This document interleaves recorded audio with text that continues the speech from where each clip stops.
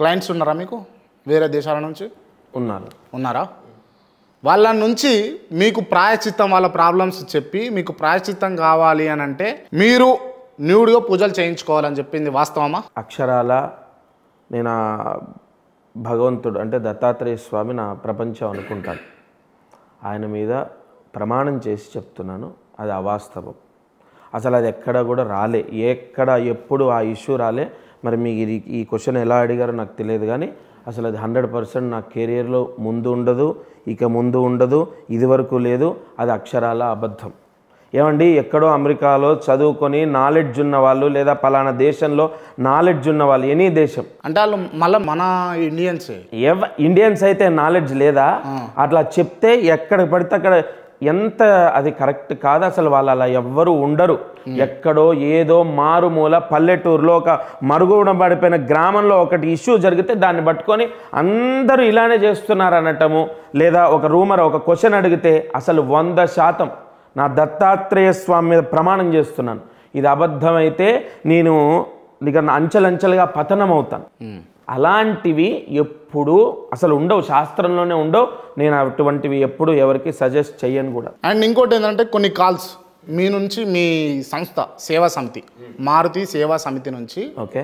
కొన్ని కాల్స్ బయట క్లయింట్లకు పోతాయి. మీ దగ్గరకు వచ్చి సందర్శించి పోయిన తర్వాత ఓకే. మీకు ప్రాబ్లం ఉన్నది మీకు యాభై వేలకు అయ్యేది ఆఫర్లో మేము పదివేలకే చేస్తాం. ఓకే. ఆఫర్ ఉంటుందా? ప్రాయశ్చిత్తానికి ఆఫర్లు ఉంటాయా? చెప్తాను. ఇప్పుడు ఒక ఒక ఆయన ఎవరో పేరు అనుకుందాం క్రాంతి అనుకో. క్రాంతి. నా దగ్గరికి వచ్చాడు. ఆయన జాతకంలో కెరియర్లో వ్యాపారంలో నష్టపోయాను. నా పిల్లలు నా పరిస్థితి బాగాలేదు నేను చనిపోవటమే శరణాగతని వంద సార్లు అనుకున్నా ఏదో మీ మాటలు నాకు ధైర్యం అనిపించినాయి. వచ్చిన కలిసిన. నాకు నన్ను అసలు నా పరిస్థితి ఇంతే ఉంటుందా? ఇంకేమైనా మారుతుందా? అని క్రాంతి అడిగినప్పుడు నేను "ఈ- నీ నువ్వు దరిద్రుడివి నీ జీవితం మారదు అంటే ఆల్రెడీ నేను చనిపోతా సూసైడ్ చేసుకుంటా నా నా మైండ్లో అంటే అన్ని కోల్పోయా ఫెయిల్యూర్ అని ఉన్నవాడికి నువ్వు లేనిపోనివి ఇవి చెప్తే వాడు ఏ క్షణాన ఎప్పుడు అగాయిత్యం చేసుకుంటాడో తెలియదు పాయింట్ నెంబర్ వన్. రెండోది యాభై వేల రూపాయలు డెబ్బై వేల రూపాయలు పదివేల రూపాయలు ఉన్నదాన్ని ఆఫర్స్ ఏమి ఉండవు. ఇక్కడ నేను చెప్తాను అది కూడా మీరు ఎక్కడ చూశారో ఎక్కడ వచ్చిందో నేను చెప్తాను అది. ఒక ఇదే ఆ క్లయింట్ గురించి అది ఒక్కటే వచ్చింది అది రికార్డ్ చేసి ఒక ఛానల్లో పెట్టారు నేను అది చెప్తాను.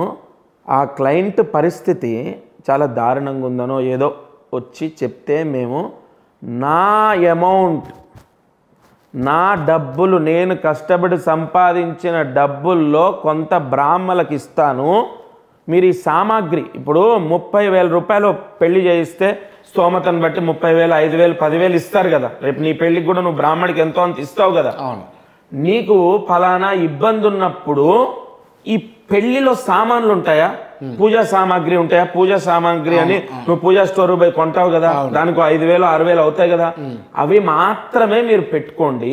బ్రాహ్మణులకు ఇచ్చే డబ్బులు నేను ఇస్తాను అని చెప్పి అది ఆఫర్ కాదు సహాయము. అది మీరు ఎవరండి సహాయం చేయడానికి? నా ఇష్టం అండి. మీరెవరు నన్ను అడగడానికి? మీరు క్లయింట్లకు సహాయం చేసుడేంది? ఎందుకు చేయకూడదు? క్లయింట్కి చేస్తా క్రాంతికి చేస్తా నా డ్రైవర్కి చేస్తా నీ కెమెరామ్యాన్కి కూడా చేస్తా. ఎందుకు చేయకూడదు? సహాయం చేయడానికి కూడా ఒకళ్ళ పర్మిషనా అంటే మీరు అన్నదానం చేస్తుర్రా? అన్నదానం చేస్తున్నా విద్యాదానం చేస్తున్నా వివాహం అవుతుంటే స్త్రీ ఇండైరెక్ట్గా మీకు అర్థమవుతుందా శర్మ గారు? మీరు మీ క్లయింట్కు ఆఫర్ చేస్తున్నారు అంతే తప్ప? ఆఫర్ అని నువ్వు అనుకుంటే అనుకో.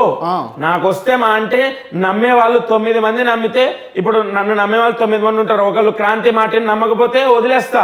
కానీ నేను అతనికి చేసే సహాయం మాత్రం జీవితాంతం నా వల్ల అతనికి మంచి జరిగితే జీవితాంతం నన్ను గుర్తుపెట్టుకుంటాడు. అలా జరిగిన వాళ్ళు చాలా మంది ఉన్నారు. మళ్ళీ వాళ్ళు సెటిల్ అయ్యాక నేను బ్రాహ్మణులకు ఇచ్చిన దక్షిణ నాకు తెచ్చిచ్చిన వాళ్ళు ఉన్నారు. దీనివల్ల ఆ, దీనివల్ల నాకు తృప్తి వస్తుంది.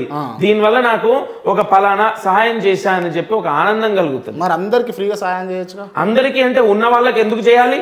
స్తోమత పెట్టుకునే క్రాంతి ఒక వాచ్ వాడాడు రెండు వేల రూపాయలు. క్రాంతికి నేను ఎందుకు దానం చేయాలి వాచ్? అలా. అది పరిస్థితి. ఉన్నోళ్ళకి ఉన్నోళ్ళకి చేయరు. లేనోళ్ళకి ఫ్రీగా సర్వీస్ చేస్తారా? ఖచ్చితంగా. పంపి నువ్వే రేపటి నుంచే పంపి. నీకు తెలిసిన వాళ్ళు నా కాంటాక్ట్ నెంబర్ ఉంది కదా. పంపించండి. కనీసం వారానికి నలుగురికి చేస్తా. పక్కా. ఫ్రీగా.